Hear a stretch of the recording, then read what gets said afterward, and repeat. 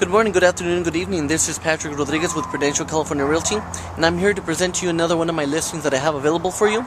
It is a three bedroom, two and a half bath property located here on the northwest side of town. Follow me inside and let's go take a look. Here we have the living room, fireplace, dining area, and also the kitchen. Pergo flooring throughout the bottom of the floor. Here we have uh, one of the two bedrooms. This is the right side and this is entering into the other side of the bedroom. Carpet flooring. And here we go into the hallway to the master bedroom. As you can see it's very large.